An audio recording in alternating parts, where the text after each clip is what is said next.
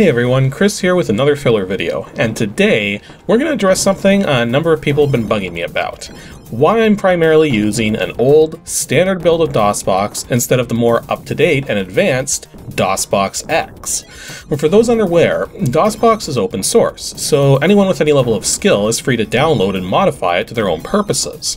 Now, given that the main 0.74 build of DOSBox is very old by this point, originally coming out in the latter half of 2012, with most of the development tied up in SVN builds since, it's no surprise that some people took it upon themselves to make their own builds, which addressed its various shortcomings. Well, as an example, the DOSBox SVN Daum build is another one that's frequently suggested to me. However, as far as I can tell, that one hasn't been updated since early 2015. DOSBox X is a project being maintained by one Jonathan Campbell, also known across the internet as the Great Codeholio, and it's based on the original 0.74 build of DOSBox, thus has grown on its own independently of the ongoing work on DOSBox itself through the SVN builds, though occasionally some of the stuff added to the SVN builds also gets ported into DOSBox X. The general goal of the DOSBox X project seems to be geared more towards just getting things working and improving both compatibility and accuracy, rather than adding new features. Which isn't to say there aren't any new features over the original DOSBox, just that there's definitely a heavy emphasis on improving the emulation itself. In fact, the DOSBox X website has some extensive comparison tables you can look through to see how it performs compared to the DOSBox SVN builds, but said tables aren't really a good way to really analyze which is better for the casual user, especially since most of them relate to demo scene stuff, where hardware accuracy is extremely important. So, we're going to do some side-by-side -side comparisons. I've already been playing some games in the background here, but in all circumstances, and unless otherwise indicated on screen, you'll be hearing the audio from DOSBox X on the right side, with DOSBox 0.74-3 on the left side. I should also point out the recent Dash versions of DOSBox are extremely minor updates to address security concerns, and have been coming out to prep everyone for the release of 0.75, which I'm told by the devs isn't too far off, so once 0.75 is out, we're going to run these comparisons again in a second video. But for now, it's DOSBox 0.74-3 versus DOSBox X 0.82.20 with the final goal being to determine if DOSBox X is a suitable replacement for 0.74, whether it's good to have alongside 0.74 for when 0.74 isn't good enough, or if DOSBox X is just a complete waste of time. Let's begin. One of the first things I wanted to test was performance, and one of the simplest games to do a performance test with is Descent 2, as it has the ability to show a frame rate counter. And yeah, right off the bat, it seems the accuracy of X's emulation is coming at the price of a huge performance hit. Now granted, you normally wouldn't run Descent 2 at max cycles because of minor timing issues which can affect the gameplay, but for sake of a performance test, it works well enough. This also gave me a chance to test the joystick support. Now this isn't something you'll see watching the gameplay, but the joystick support in X is much more flexible, and even supports joystick axes beyond the first four. Yet, surprisingly, has some unusual bugs. Uh, for instance, in the CH flight stick mode, two of the axes weren't working at all, and the two which were pretended to be the two which weren't. And I switched from CH support to 4-axis support while leaving Descent 2 in CH mode, and then everything worked fine, so I have no idea what was up with that. I do also like that X has customizable dead zones, though the default dead zones of 25% are a bit on the high side, and unnecessary if you have a mid or high quality joystick or gamepad. I wanted to test out Catacomb Abyss for a couple reasons. The first was to see if the floor glitching present in 0.74 was still present in X, though X is handling this aspect perfectly fine. The other thing is that Catacomb Abyss is one of the very, very few games out there which actually uses the CRT overscan area to convey information, specifically flashing red anytime a player takes a hit.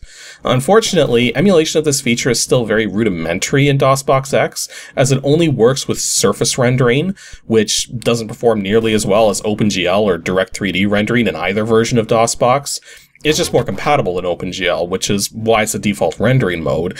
And it's also not being cleared properly when set back to a zero color, as it just stays permanently lit red here instead of simply flashing for an instant.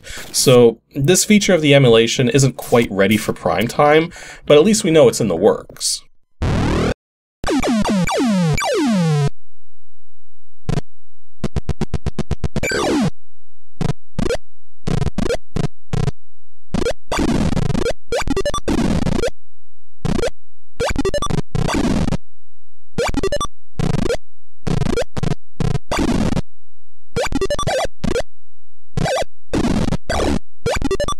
The reason I let this play out a little is because the most notable thing about emulating the original Duke Nukem is that 0.74 doesn't get the sound effects right.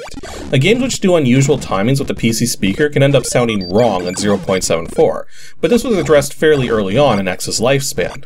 So now, have a listen to that exact same section again, but from X's audio.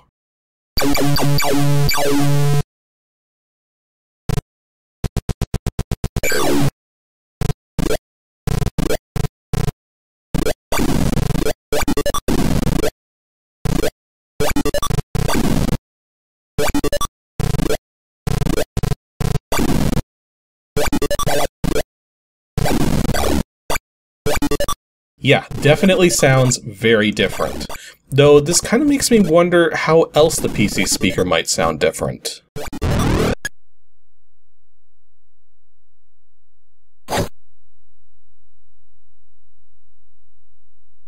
No doubt about it, that's deep in the sand trap. So, Real Sound was a thing Access Software did, producing digitized sound over the PC speaker. Now, it sounded grainy on real hardware, but sounds very clean under DOSBox 0.74. Kinda too clean, really. Now, interestingly enough, if you take a listen as to how it sounds on DOSBox X side of things,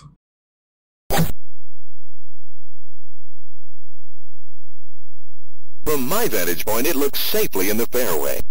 Yeah, it's nearly identical, so real sound still works as expected, just without real hardware screwing up the fidelity. So, I was going to showcase DOSBox X being able to launch Thexter into its MCGA mode, as 0.74 doesn't have a dedicated MCGA mode, as VGA is pretty much 100% backwards compatible with MCGA. But trying to boot Thexter with DOSBox X configured for MCGA support led to this. Apparently, it was still trying to run the EGA mode despite the machine setting. So, just for a point of reference, this is what it's supposed to happen. Now, you can trick Thexter into running its MCGA executable data by swapping the file names for its main EG and main PS files, which would work in any version of DOSBox. But the whole reason for DOSBox X having a dedicated MCGA mode is for games which are specifically trying to detect the presence of an MCGA chipset for an old PS2 computer.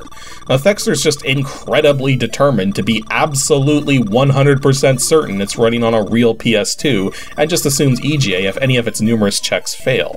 As for the MCGA mode itself, you'll notice it does look a little bit different than the Tandy mode seen in 0.74 right now. The MCGA mode is altering the palette slightly, but is otherwise still using the same graphical data as the Tandy mode. Now with any luck, future versions of X will be able to convince this thing it's running on a PS2 system, as the author is very aware of Thexter's temperamental auto detection, and has taken many steps towards trying to get it working. King's Quest is an example of a game which successfully triggers 0.74's composite CGA mode, so it's a good way to compare 0.74's composite rendering to that of X's. Now, the funny thing here is that X maintains a normal computer monitor aspect ratio compared to 0.74 going into an aspect ratio more akin to what you'd get on an old television. Plus the colors are a bit more saturated in DOSBox X compared to 0.74. But then, that's one of the crazy things about supporting composite output is that there's no standardization when it comes to color, just approximations. So everyone's got different ideas as to what's normal given whatever brands of TVs they grew up with. To that end, both versions of DOSBox really need to have adjustments present for composite support, as plenty of 80s DOS games do support composite output, as it was just a simple way to squeeze 16 color graphics out of a CGA card Mm, even though it meant fuzzy text and having to suffice with only 160 pixels of horizontal resolution without the colors bleeding together too badly. 0.74 also has no way to manually trigger composite output, so either it has to detect that a game intends to utilize this, which doesn't always work, or additional software needs to be loaded in within DOSBox to manually trigger this. I typically play this game using a source port nowadays, especially given that DOSBox 0.74 doesn't really handle it all that well, and yeah, neither does X. The flickering in 0.74 is pretty bad, as is screen tearing from what I can only assume is some kind of vertical sync conflict, as the game does VSync on real hardware. In DOSBox X, the tearing isn't present, but the flickering is to a lesser extent, and the frame rate stutters more. So either way you slice it, running this game in DOSBox isn't the way to go anymore. When I originally tried to get this working in DOSBox 0.74, it ran incredibly slow. And while you could just bump the cycles counts way up, it actually didn't help because it would just end up missing all your keystrokes anyways. As you can see on X's side though, it's running at the right speed there, given the exact same configuration settings between the two. At least the exact same settings which are shared between 0.74 and X. Now, that said, there is a utility you can grab which runs the TSR to patch the game on the fly to resolve this timing issue, but I found it led to other minor issues, notably with sound. That's why I recommended using an older version of DOSBox over the patch.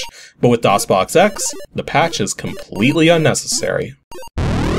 Unfortunately, this is an example of one of the comparisons I had planned, which didn't amount to anything.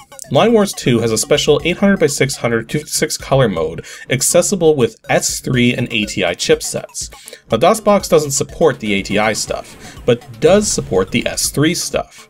However, the specific mode Line Wars 2 attempts to set is 800 by 600 at 256 colors at 75 Hz, whereas most SVGA modes in DOS run at between 50 and 70 Hz. Now, despite this problem being known since 0.73, it was never fixed for 0.74, and isn't fixed in DOSBox X either, at least at present.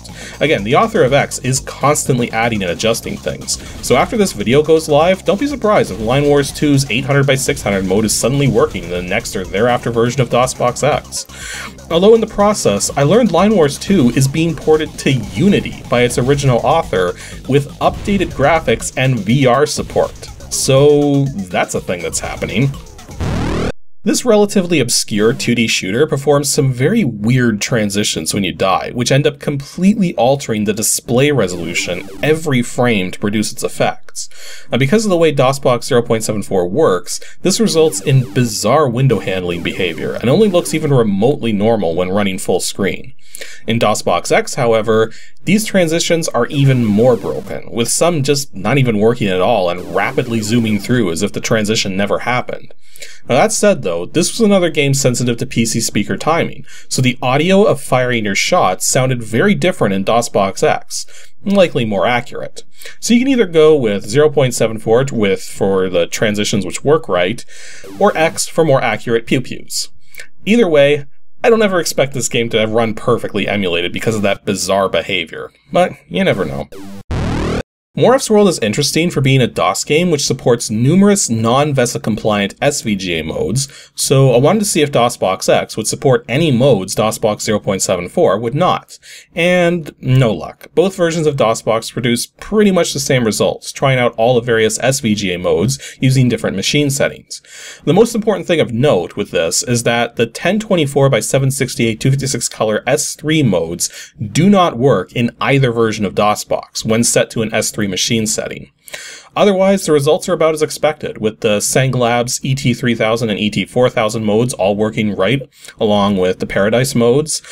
Although also of note is that the 800 by 616 color mode for ahead cards works with most of the SVGA capable machine settings, suggesting that particular mode in this game may actually be a VESA compliant mode. I also noted that IBM 8514 support was still missing too. Now the IBM 8514 was an early 2D graphics accelerator card which helped lead into ATI's Mach 8 and Mach 32 chipsets, none of which is presently supported by DOSBox or DOSBox X, despite being supported by mm, a fair number of DOS applications and games, and not a huge amount of software by any stretch, but enough that it'd be nice to see support for these added someday. One of the problems I ran into with this game and DOSBox 0.74 was that it would hang when trying to export a table into an executable file. Now using an earlier version of DOSBox circumvented this problem. Thankfully, DOSBox X seems to have this problem dealt with too, so exporting to an exe in X works perfectly fine. Other than that, PCS stuff works pretty much exactly as expected in both versions of DOSBox. This was another performance test to see how well the game was playing, as well as to test if the game's intentional reconfiguration of the standard VGA mode would be detected and processed properly to make for a standard aspect ratio instead of the stretched ratio 320 by 200 normally has on a CRT monitor. And both DOSBox 0.74 and DOSBox X pretty much performed correctly and exactly the same.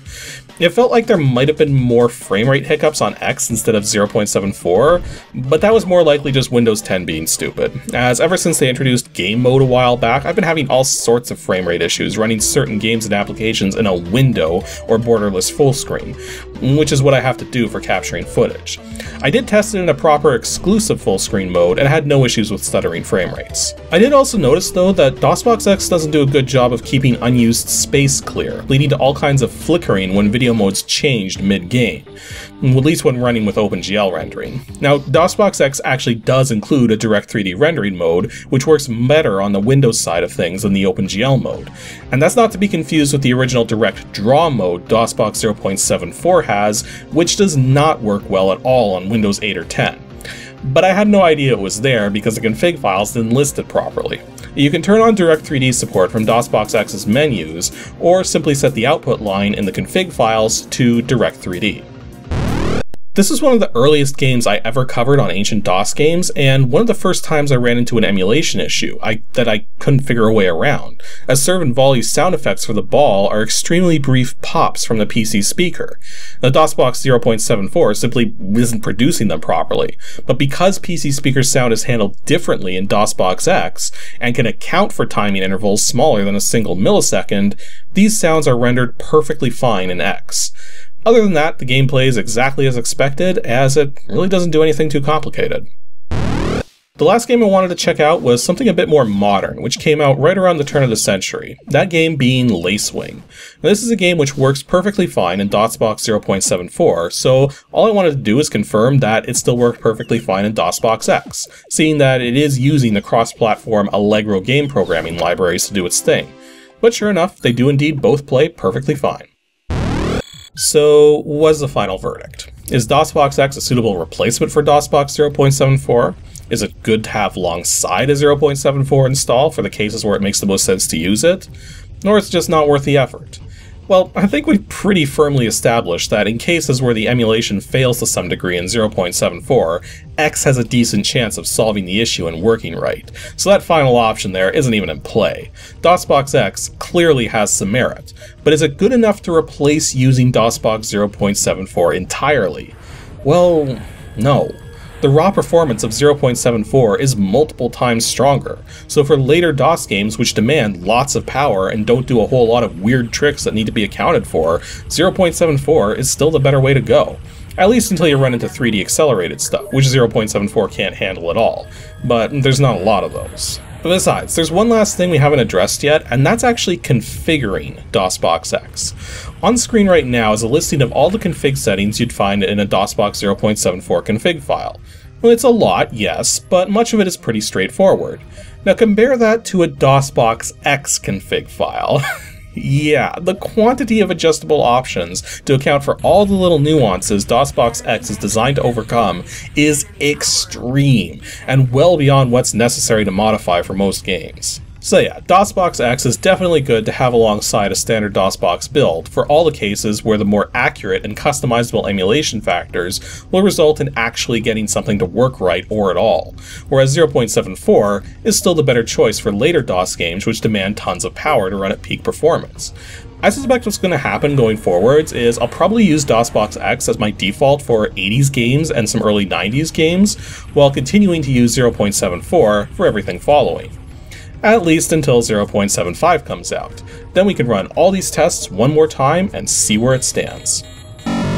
Anywho, that's all for this filler video. Next episode of Ancient DOS Games, episode 259, will be on Saturday, September 7th. And I've got a very intriguing DOS game lined up, as it's one that was never actually meant to see the light of day. That's right, a game that was intentionally designed to be internal to a company and not publicly distributed. Now, I didn't obtain this illegally or anything. It did actually see a public freeware release a couple years after it was made, but few people found it, few people talked about it, and finding copies nowadays is extremely hard. So make sure you stay tuned for this one because I don't think very many people know about this game at all. Thanks for watching, everyone, and extra special thanks to those of you supporting me on Patreon. Here's just a small set of you guys.